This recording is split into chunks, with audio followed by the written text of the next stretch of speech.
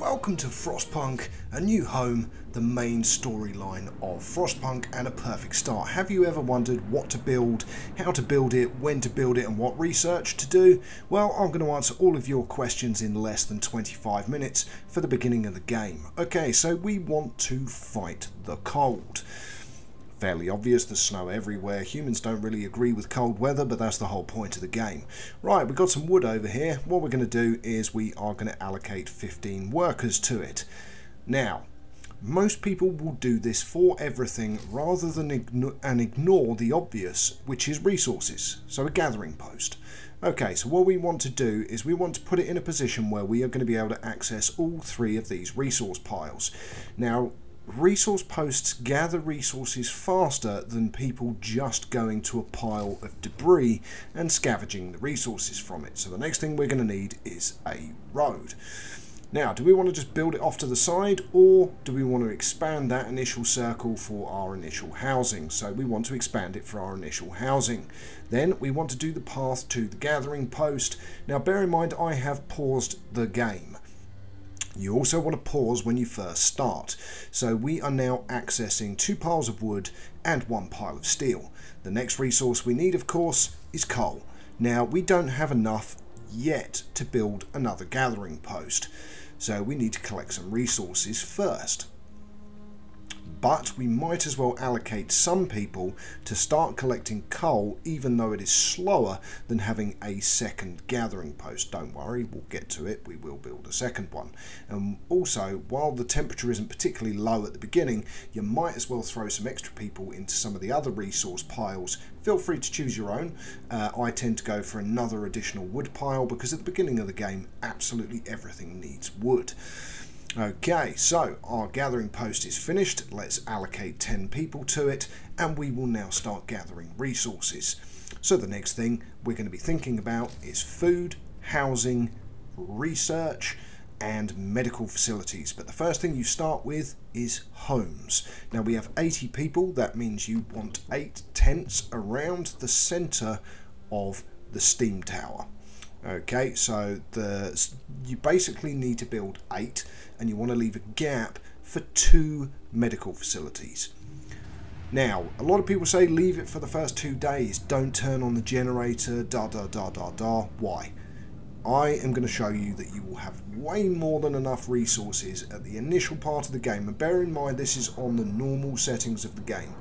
So this is medium difficulty. This is not on easy. I haven't reduced everything to make it ridiculously easy. This is on the medium settings. Now we can allocate some more people to another resource pile as well because we still have some spare people and we do need to collect a lot more resources. So let's start throwing down a couple more. So we're out going to be out of wood again once we've built these two. But that is now five tents built, which will accommodate more than half of the people that are in our settlement at the moment. So not too bad. Now what we will also do over the course of this video is of course cut footage. I will cut out the unnecessary floating between targets and objectives so that you get to see it in a much quicker stasis. But uh, just showing you this part as it is and then we will start skipping forward. So that initial layout you want 8 sets of tents which is your eight 80 people and you're going to build one medical facility, not two. Just one to begin with because one is more than plenty for the beginning of the game and again you want to save the resources so that you can keep moving on ahead of what the game even asks you to do so that you're ahead of the curve. Now the next thing of course is uh, going to be the medical facility but we don't have enough resources. It's the end of the day. Now at the end of the day everyone goes back to their tents but what we also need of course is food. So we need a cookhouse and we need hunters huts. First thing to build is the cookhouse, not the hunter's hut. So the cookhouse, once staffed, will convert our 100 raw rations into meals which will feed our people. And by day three-ish if you haven't done this they will start getting hungry and you don't want that. So there we go. Our last tent is built and everyone now has accommodation and our hope is in a fairly good position. And we've got five people that are unemployed that aren't doing anything well yes of course. That's because we've saved those five engineers for our first medical post. Okay. So we've now skipped forwards and we want to build another gathering post and of course we want to build it near to these two piles of coal because we will then collect the coal quicker. But we want some path first and I always recommend building the path first, not plonking the building and then building the path, uh, which again some people do. Uh, the reason I say that is because you will position the buildings better if you build the road first. Whereas if you just plonk the building down, you might find it doesn't quite line up with where you want to put streets. So our second gathering post is in and our first medical treatment facility for anyone who is going to get sick. And of course they will because it is absolutely freezing cold. And in fact, in a couple of days, it's going to drop two temperature levels, which means it's going to go down to minus 40. Now, of course, we need a hunter's hut because we need to gather food. Now, two fit here, so what we can do is put two here and then three behind uh, later on in the game, so there will be a total of five in that grouping. And I tend to find that is about enough. So again, we have scoped through we are moving uh, people off of the resource piles and into the gathering posts, which gives us more people to use for other tasks. So now we have 25 available. We can put fill one hunter's hut and heart, well, two thirds fill another one. Okay, open the book of laws.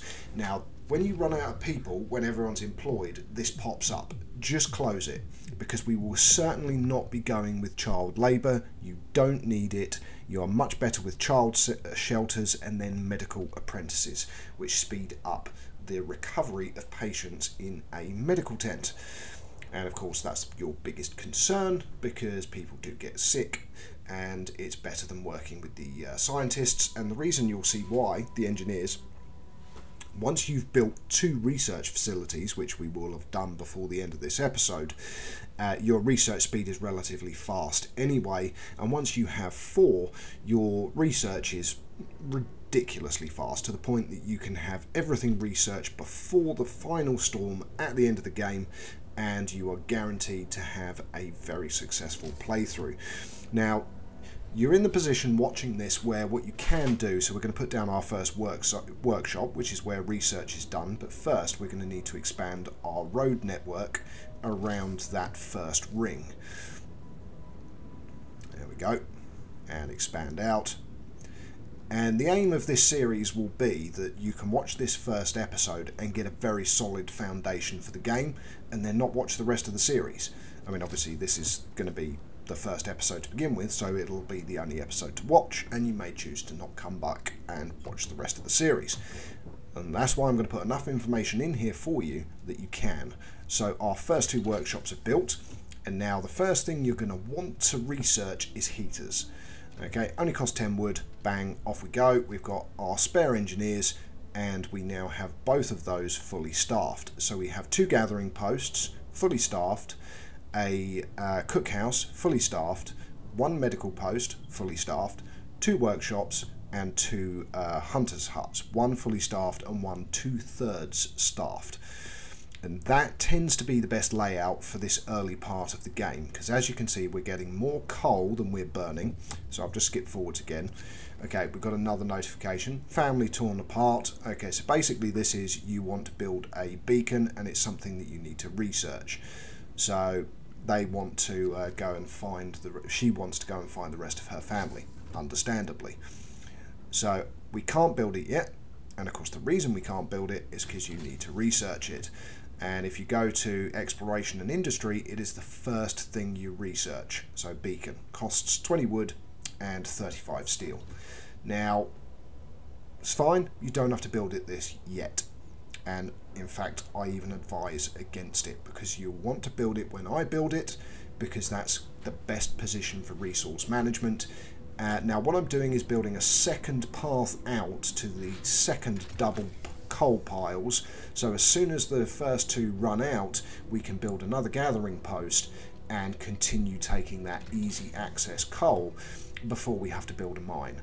Now the second thing you want to research is going to be, see these you need, you need a coal thumper, faster gathering, you also need steam hubs, but go with coal thumper. Because what you can also do, if you choose to, is remove once those piles are gone you could put down a coal thumper. Again I will show you why not. I mean at the end of the day you've got well over 2,000 coal uh, I think about 2,500 coal in the piles that are around. Now with research heaters everything's good but look in less than a day the temperature is going to go down to minus 40 and you're going to see why researching those heaters was very worthwhile Okay, so food, we've already done it. So now that the generator hums and we've sorted out all those other initial conditions saying that we should do food, well, we've already done that. Now we have to go and find people from our convoy. So that's building the uh, beacon so that we can send out a scout team, which again needs five people to form a scout team. And you then need to explore the uh, Frostland. But again, going to show you everything, so don't worry. We're going through this one step at a time and it will give you the best possible foundation for having a fantastic city by the end of the game. in fact, let's skip again. We're going to skip ahead. So again, speed up time, but again, we're also going to skip ahead the footage as well, because at the moment, not a lot's happening. So around the edge, you have your iron ore deposit. You've got a coal deposit over here where you can build a couple of uh, coal mines, and there is another coal deposit as well. Uh, there it is over there. So you have a total of three coal mines that you can build inside uh, your city. And there are frozen trees as well uh, for the wall drill for wood as you get into the late game, but we certainly don't need to worry about that now. What we do need to worry about is getting a sawmill researched so that we can um, get more wood. So again, always check your temperature overlays. So we're turning on the heaters now for everything before we have the double temperature drop. So we've got plenty of spare capacity there with the coal. So as you can see, we're still in the green.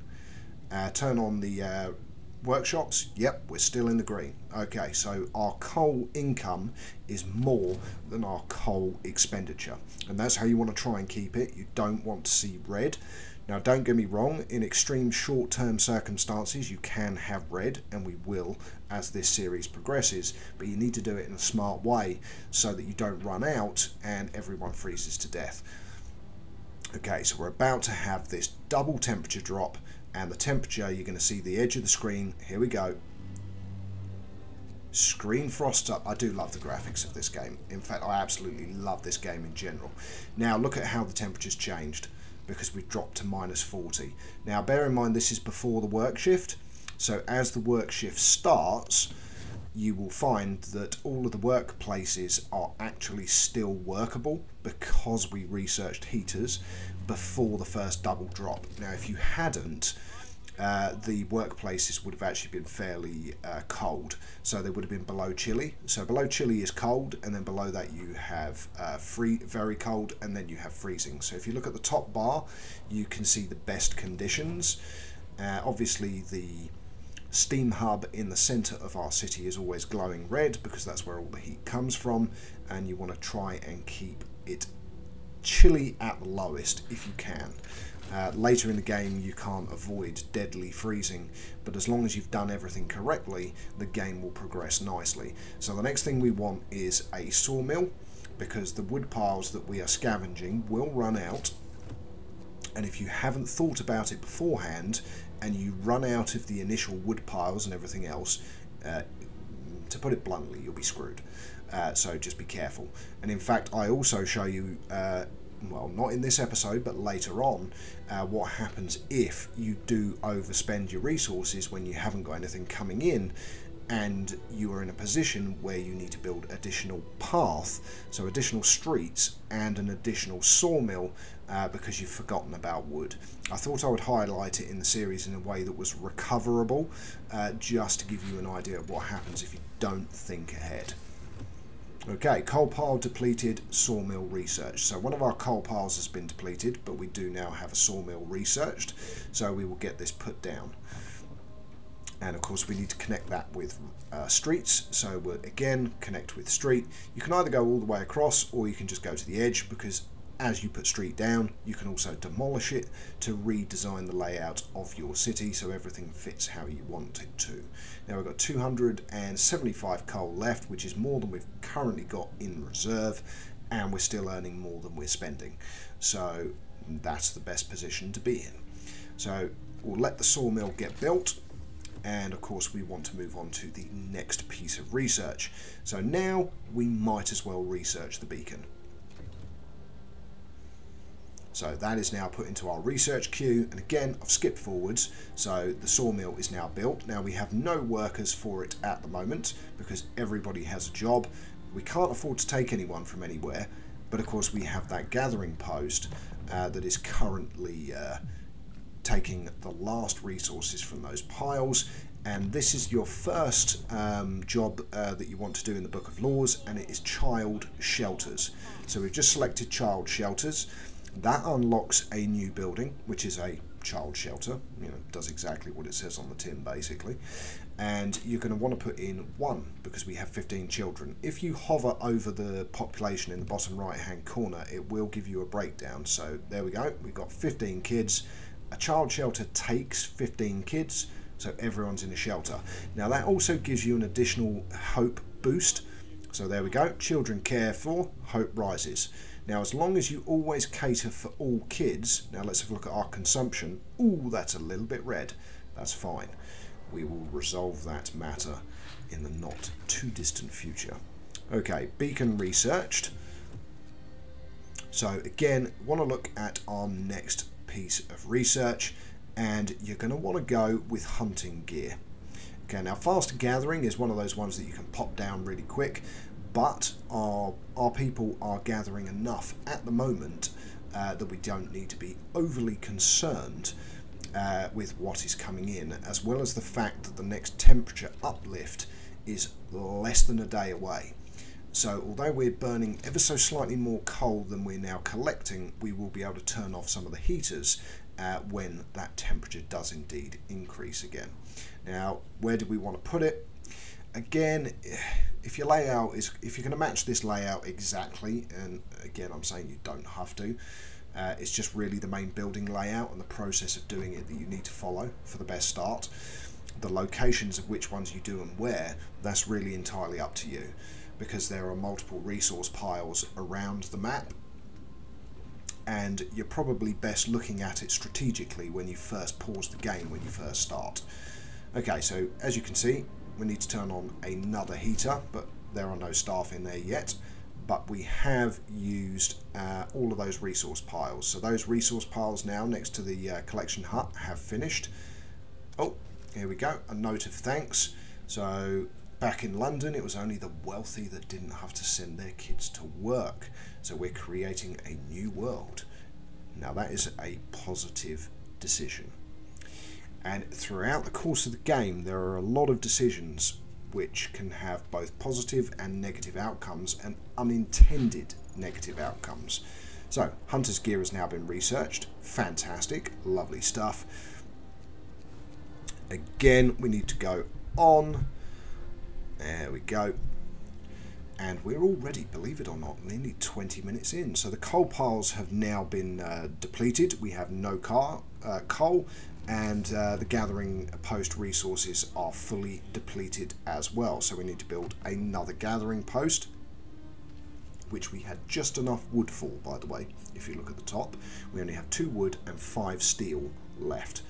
So, dismantle building, we'll grab back some of those resources and again we'll get the sawmill underway because at the moment uh, we haven't even got enough to uh, research fast gathering because we don't have 10 wood. Right, that is building and again we have no we still have 10 people working in here that we now need to switch over uh, to the sawmill. So we've put that to zero everyone will get these buildings constructed and we will have enough people to put another 10 people into the new gathering post. Okay, our beacon is built. Lovely stuff. Now this is when the story really starts to kick off for the game once this is built. So here we go. This is the deployment of our beacon. which allows us to explore Frostland and start getting additional people into our city. And this is where you have to start thinking more carefully how you do the layouts of the buildings because you have to attribute outside of that initial steam circle and how you keep everyone warm. But we can't do it at the moment, so we've skipped forwards. Yep, we do indeed need a win. I completely agree. And we will figure out a way of freeing up an additional five people so we can get that party created.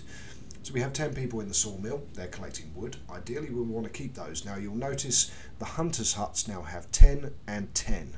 So I have harvested five people from a hunter's hut. So we have them both at two thirds capacity now, and we still have five human beings left. Well, that's good. Now, Book of Laws. Do we want to enable anything else yet? The answer to that is no because you want the hope boost. So as you can see, discontent has started to rise quite a bit. Uh, now what we will do is we will skip forwards again. So the temperature is about to rise. There we go. Starts getting a little bit warmer. Discontent straight away goes down. That's it, because the temperature is a bit nicer.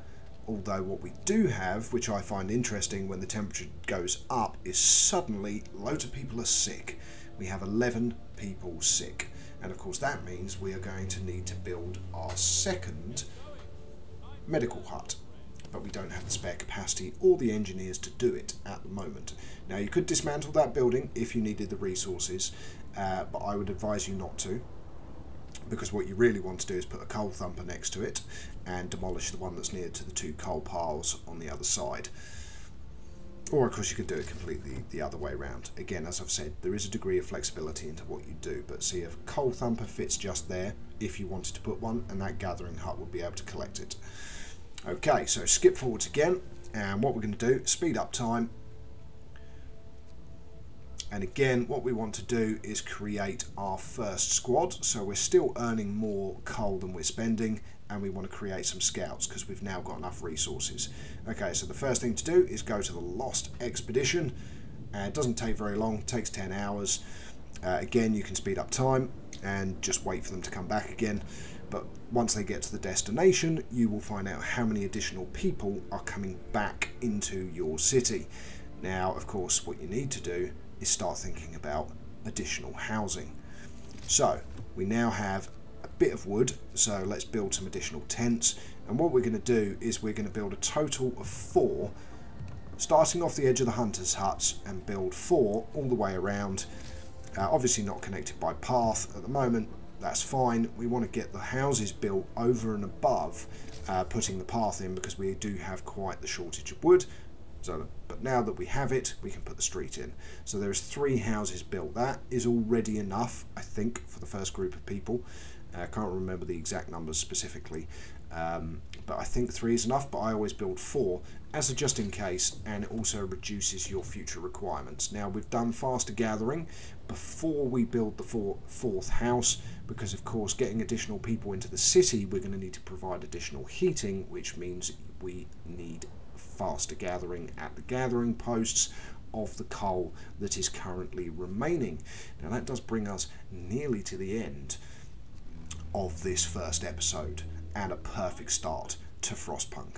I do hope this is very helpful for you. I do hope it has provided insight into what to do at the beginning of the game. Here we go. They've got to the location. Let's explore.